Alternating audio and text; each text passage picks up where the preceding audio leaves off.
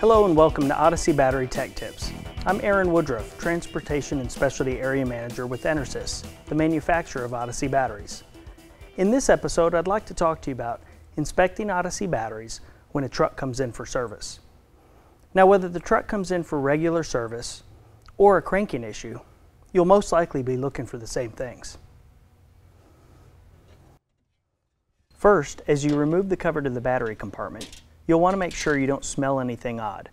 That rotten egg smell is a sign of an issue. Most of the time it's related to overcharging. If you smell this, you'll know right away that you need to remove the battery pack. If you don't, you can proceed forward with the inspections. Take a look around. Look for swelling or cracks of any kind. If you see any of these signs, go ahead and remove them for further inspection. Another item to check for is assuring that the hold down has been properly installed and is securing the batteries correctly and evenly. Any movement of the battery while in operation could cause an early failure. Next, you'll want to make sure that the cables are good and tight. If you find any loose cables, this could be a sign of an undercharged battery within the pack. While this might not present an issue to the driver now, it could lead to an early failure later down the road. Finally, for a full evaluation, it is best practice to read each battery's voltage individually.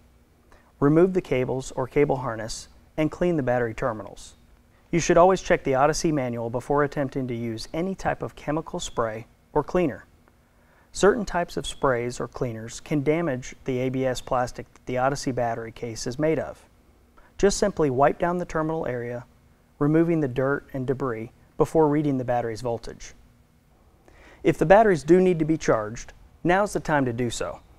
Depending on what type of battery charger you have, you can do that here at the truck or in your designated battery room.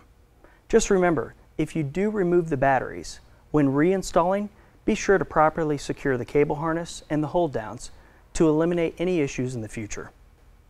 If you have any further questions about Odyssey batteries or would like to view other Odyssey battery tech tip videos, please visit us at www www.odysseybattery.com.